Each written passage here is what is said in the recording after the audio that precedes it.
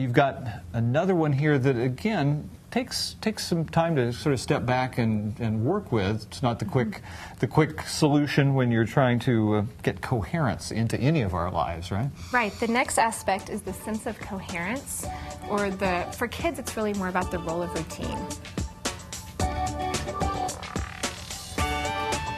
So coherence is what brings what brings meaning to our life what makes us know something greater than ourselves. And that's a really abstract concept that's really difficult to teach children and sometimes even adults.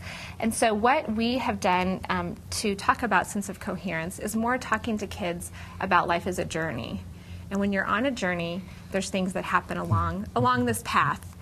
So one of the activities that we did was um, have children create a life map, and it's it's very simple. You just need paper and crayons or markers, pencils, and the kids actually draw. You talk about what do you see on a map. So when you're looking at a map, you might see mountains, or you see oceans, rivers, lakes, roads, bridges, and you let the kids choose what they want as symbols to represent their life.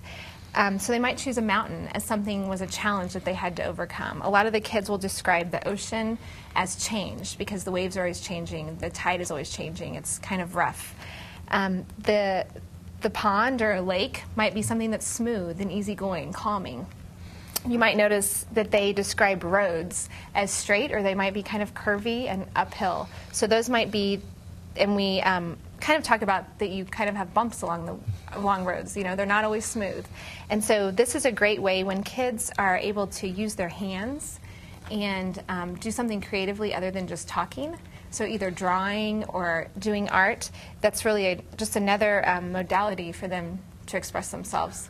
And they must come up with just some amazing things that, that, leads to more and more discussion, which hopefully is teaching them some of these, these things that you're trying to, to achieve. Exactly. And if um, the, the adult or the leader who's doing the activity will just be observant, then the children will really lead you through the activity. And you can just notice what they're drawing, what they're writing about, and that will just spawn some natural questions and creativity.